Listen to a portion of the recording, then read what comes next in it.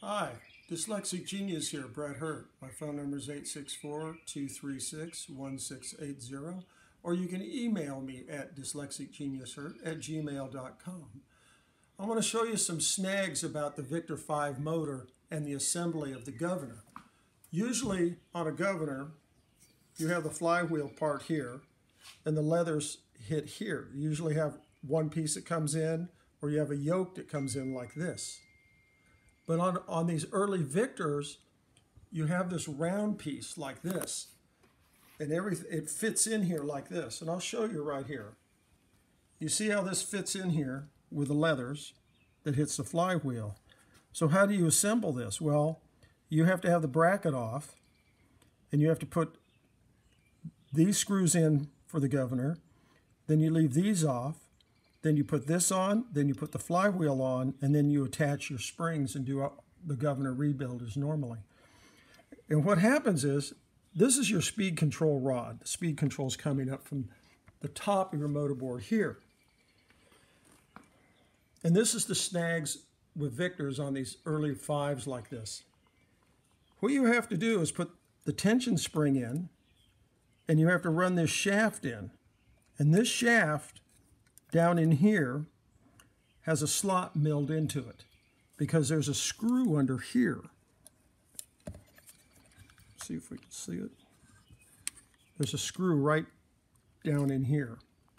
And that goes in, that goes into that slot. It's kind of tough to see on camera.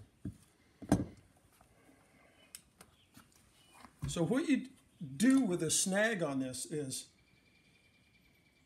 you leave everything kind of loose and you mount the governor with the bearings on because this will move up and down because there's some gaps in here.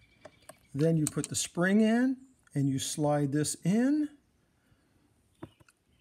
and then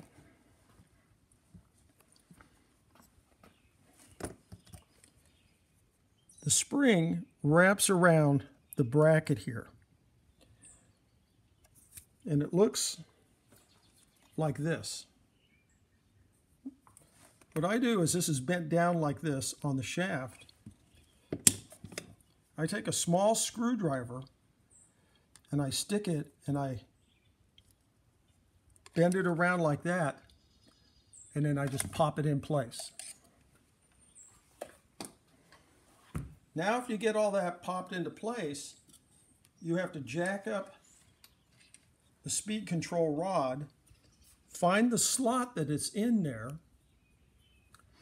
and come in and adjust it. I haven't adjusted it yet because you can see it's not hitting the flywheel dead center. But if you loosen it a little, you can move this over to get it dead center on the flywheel. I have to do this now. I'm just showing you that it's off. It's off just a little. It should be in line. The leather should be in line with the governor shaft like this. These things, first time I did one of these and I was a young guy, drove me nuts, but it still drives me a little head scratching. It takes some time. To assemble this, for me, takes about an hour. I'm just letting you know this. This is a lot of fun, you know. I'm sorry I haven't had a video out, but my deck died and I had to go rebuild it. And my sweet angel helped me do that, and we had a great time doing that. But that's my tip for the day.